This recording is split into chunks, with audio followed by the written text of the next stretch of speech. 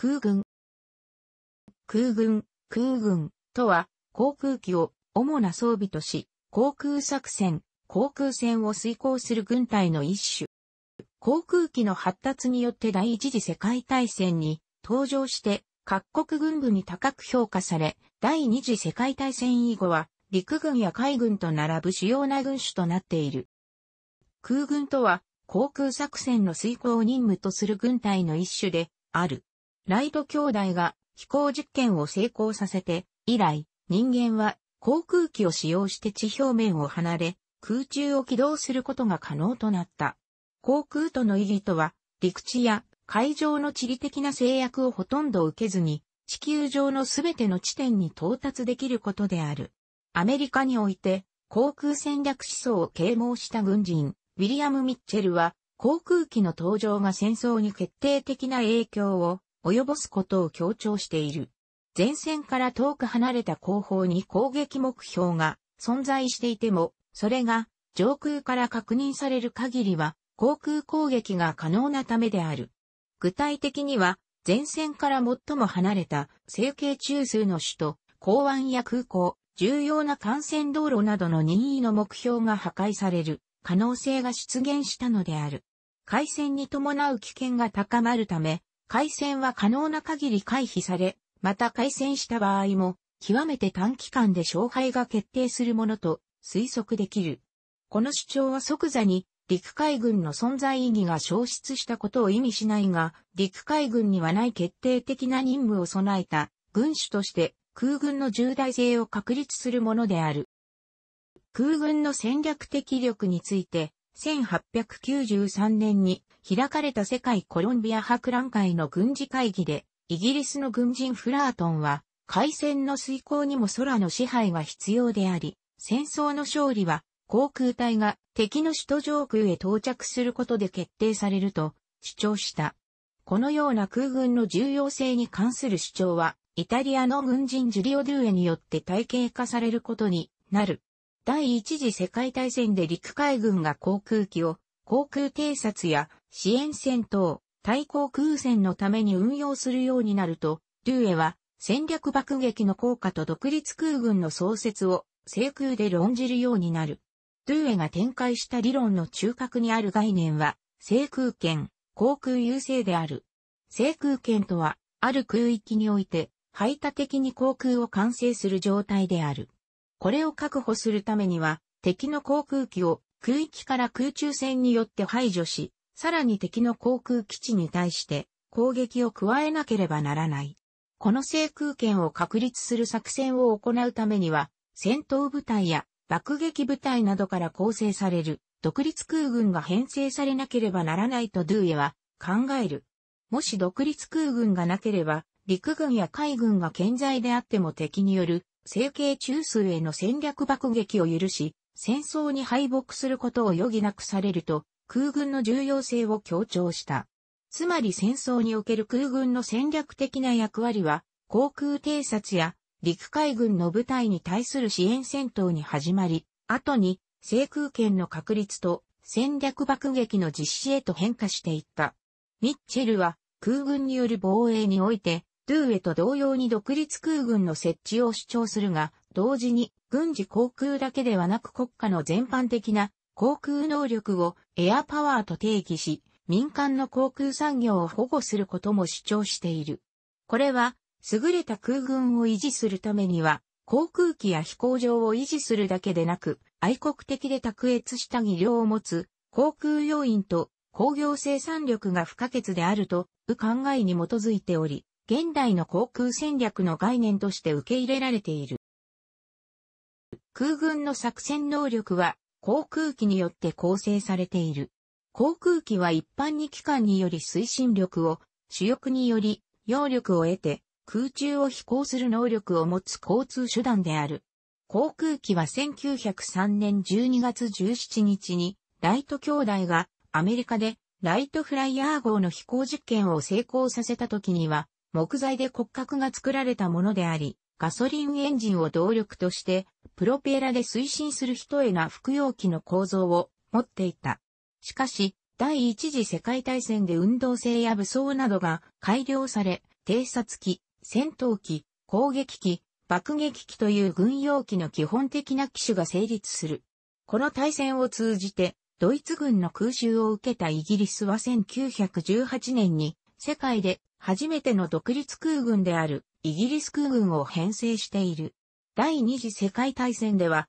金属素材の単葉機が登場し、航続距離、運動性、並走が改善されただけでなく、ドイツ軍で開発された電撃戦において、航空部隊は近接航空支援で敵前線に戦車が突撃を加える突破口を形成する役割を担った。一方のイギリス空軍でもドイツ空軍に対する近代的な防空システムを構築して本土への攻撃を退けた。また、アメリカでもセバルスキーによる空軍力による勝利で戦略爆撃機とそれを護衛する陶器の生産を拡大が推進された。工学者、ロバート・ゴダードはロケット工学の研究でジェット機やミサイルの基礎技術を導入している。戦後間もない1947年に新設されたアメリカ空軍では核兵器を運用するための戦略爆撃の能力を拡大し、長距離航空を支援するための空中給油機が導入されるようになる。空中給油を実施することでより幅広い地域にわたって航空戦力を展開することが可能となる。空軍の意義は冷戦後の湾岸戦争でも高く評価され、多国籍軍による精密誘導兵器を用いた戦略爆撃は楽軍の戦闘能力を低下させることに成功した。空中戦の起源はギリシャ神話などで出てきているペロデフォンの空中戦などが今日の空軍とは除外される。そもそも飛行機が使われていないためである。確かな空軍戦力が戦場に投入された始まりは1794年のフルールスの戦いにて、フランス軍が偵察のために気球を使用したこととされる。飛行機の歴史は、1903年アメリカのライト兄弟の飛行から始まる。初期の飛行機は空を飛ぶことに専念し、戦闘に使われることは想定されなかった。1911年9月から1912年10月の井戸戦争でイタリアが2隻の飛行船に加えて28機の航空機を投入して偵察を行ったのが戦場で航空機が初めて登場した戦争になった。航空機が戦力として本格的に注目されたのは第一次世界大戦である。大戦初期、航空部隊の任務は偵察、偵察機のみで戦闘に携わることはなかったが、途中から戦闘機や爆撃機が誕生し、ドイツ、フランス、イギリス、アメリカ、カナダ、イタリアなどの国で多数の戦闘機や爆撃機が生産、使用された。この時期にイギリス陸軍航空隊、ロイヤルフライングコア、フランス陸軍航空隊、アエロノーティクミリテールとドイツ陸軍航空隊、ルフトシュトライトクレフテが組織として誕生し、その後ドイツ陸軍航空隊は敗戦により解体されたが、イギリス陸軍航空隊は、イギリス空軍に形を変え現在まで続いている。この対戦では、戦闘機同士の空中戦、ドイツ飛行船、海軍に所属、爆撃機による夜間都市爆撃、イギリス海軍機、水上機によるドイツ軍基地攻撃など、今までなかった新しい戦争の形態が出現した。航空機のもたらす偵察情報はしばしば戦闘に大きな役割を果たし、砲兵観測は既存の直接射撃主体の砲兵の戦術を一新すると、航空機は陸戦の勝敗を決する上で非常に重要な陛下となった。第一次世界大戦が終了し戦艦機に入ると、対戦参加各国の航空部隊は大幅に縮小された。当時の飛行機は木製で耐久性に乏しかったため、大部隊を維持するには常に大量に更新する必要があったためもある。その中で、イタリアのジュリオ・ドゥエ少将は、将来の戦争は戦略爆撃が戦争の勝敗を決する旨の構想を明らかにし、アメリカのウィリアム・イー・ミッチェル准将は、航空爆撃の効果を重視し爆撃機の撃により、旧式ではあるが戦艦を撃沈できることを証明した。これらの見解は、将来の戦争形態について、各国の関係者たちに少なからず影響を与えた。1930年代中期まで各国空軍は技術の進歩に合わせて新しい機体を採用しつつも規模は小さいままであった。1930年代後半にアドルフ・ヒトラーが率いるナチスドイツが再軍備を宣言し空軍を急速に増大させ、スペイン内戦には主に新型機材で構成されたコンドル軍団を投入し、戦果を上げるとともに、ベルナー・メルダースがロッテ戦法、シュバルム戦法を考案するなど、運用面でも進化を遂げた。これに対抗して、イギリス、フランス、アメリカ、ソ連などが空軍の強化開始し、極東では日中戦争やノモンハン事件を戦っていた日本の陸軍と海軍も航空部隊を増強した。特に陸軍では既存の士官学校とは別に航空将校養成に特化した航空士官学校を設立、陸軍将尉候補者制度により準士官下士官パイロットの将校、指揮官登用、実戦部隊、飛行戦隊と支援部隊、飛行場大隊の空地分離化などが推し進められ、海軍では山本56の主導のもと、従来の戦艦主体の艦隊から航空母艦を主力とする海軍への切り替えが始まった。この時期イギリスは空母搭載機も空軍に所属していたがこれは不合理で海軍用の機体は地上を基地とする機体に比べて、更新が大幅に遅れた。イギリス海軍が対戦前半に複座戦闘機フルマーや服用攻撃機ソードフィッシュで戦った原因はここにある。その後イギリスも空母搭載機は海軍所属に変更した。第二次世界大戦では空軍は戦争の主力となった。陸上でも海上でも制空権を有する側が勝利を得た。対戦初期、ドイツは制空権を握った空軍の電撃戦により、ポーランド、侵攻戦やフランス侵攻戦で成功を収めるが、バトルオブ、ブリテンの航空戦で敗北。対ソ連戦のバルバロッサ作戦では、電撃戦で当初はソ連軍を圧倒したものの、台風雲作戦の失敗により戦局は停滞する。太平洋戦争初期の日本の陸海軍航空部隊は、パイロットの優れた技量と集中投入によって、マレー電撃戦や真珠湾攻撃、ビルマ攻略戦、フィリピン攻略戦、ランイン攻略戦などの南方作戦において、イギリス、アメリカ、オランダを圧倒した。真珠湾攻撃やマレー沖海戦の結果、長年海軍の主力であった戦艦はその座を失い、航空母艦が海軍の根幹となり、大戦中は多数建造された。しかしながら、ミッドウェー海戦の敗北により主導権を失い、以降は特攻までせざるを得ない、消耗戦に引きずり込まれる。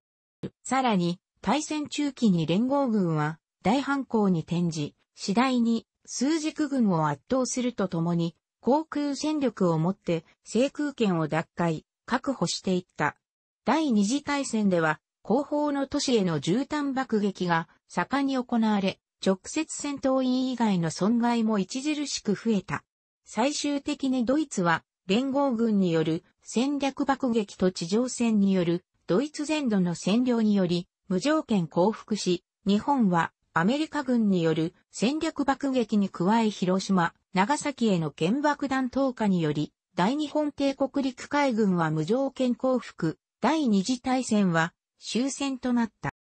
第二次大戦中に生産された機体数はアメリカが約30万機、ソ連が約15万機、他の国も数万から10万機を生産し戦場に投入した。組織として独立した空軍を保有した主な国は、イギリス、ドイツ、イタリア、フランス、ソ連、フィンランドで、アメリカ、日本の2国は、陸軍航空部隊、陸軍航空隊、陸軍航空軍と海軍航空部隊、軍航空隊をそれぞれ主力航空戦力として要した。対戦中に対戦哨戒機やヘリコプターが実用化され、飛行機による物資、人員の輸送とともに空挺部隊も一般化した。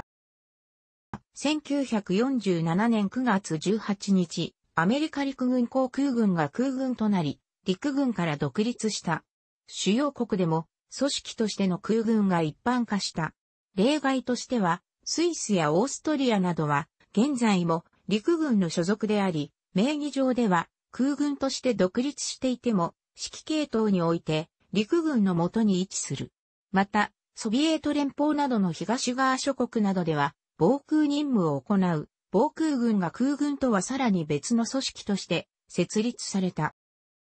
日本においては、再軍備の途上である保安隊、陸上自衛隊の前身、警備隊、海上自衛隊の前身時代には、戦前同様に航空部隊は保安隊、警備隊に分属していたが、1954年、昭和29年に自衛隊に改組される際に、国際の数勢に従い航空自衛隊として分離独立することとなった。冷戦時代は空軍の任務として敵対国への核爆弾攻撃が重視され各国で多数の爆撃機が開発された。これらの爆撃機は一万一の事態に備えて整備され、いつでも核爆弾を搭載して飛行できるように備えされていた。戦闘機、爆撃機とも1950年代にはジェット化された。第二次世界大戦末期にドイツで開発された V2 ロケットは大戦後に核爆弾を搭載した大陸間弾道ミサイルに進化した。これらの攻撃を探知し防御することも空軍の重要な任務となった。また、仮想敵国の情報を入手するため、専用の偵察機が種々製作され運用された。一方、発展途上国においては、戦闘機、爆撃機を戦略上必要とせず、また、価格的にも高価であることから入手せず、コイン機のような廉価かつ操縦性のたやすい機体が選ばれるようになった。これは、冷戦時代を背景に、各地で左翼ゲリラ活動が行われるようになり、従来の戦闘機、爆撃機ではリスクが合わなくなってきたためである。こうした動きは、ベトナム戦争において、アメリカが、アルジェリア紛争においてはフランスがこうした任務の機体の必要性を痛感したことも一因となった。冷戦が終結し大国間の全面戦争の危険が後退した代わりに、アメリカは自国本土を含む世界のあらゆるところで多様な敵と対戦する必要に迫られた。この状況に対し、アメリカ軍は2002年4月以後統合軍運用を基本とし、空軍単体としての運用はなくなった、名前は残り続けている。また、偵察衛星や無人航空機の進歩により、パイロットの危険を伴う有人機による敵地偵察飛行は重要性が低下した。軍隊共通の組織体制に関しては、軍隊組織形態を参照。部隊の編成は、国や時代、装備機種によって一様ではない。例として、最小単位となる2機編隊を、分隊、セクション、エレメント、2個分隊からなる小隊、フライト、プラトーン、複数小隊からなる飛行隊、飛行中隊、スカドレンがある。これら分隊、小隊、飛行隊、飛行中隊は、基本的に同一の機種で編成されている。この飛行隊は、航空軍、飛行軍、飛行戦隊、航空隊、グループとして構成され、整備隊、補給隊、防空隊、施設隊、警備隊、航空管制団などからなる支援任務軍や専属の司令部と合わせて独立的な戦行動を取ることができる航空団、飛行団、ウィングとなり、戦闘機を主要な戦力とした航空団、飛行団は、戦闘航空団、飛行団、コンバットウィング、ファイターウィングと呼ぶ。この2個以上の航空団、飛行団から編成された部隊が、航空師団、飛行師団、エアーディビジョンであり、これは任務によって様々に改変される場合もある。楽しくご覧になりましたら、購読と良いです。クリックしてください。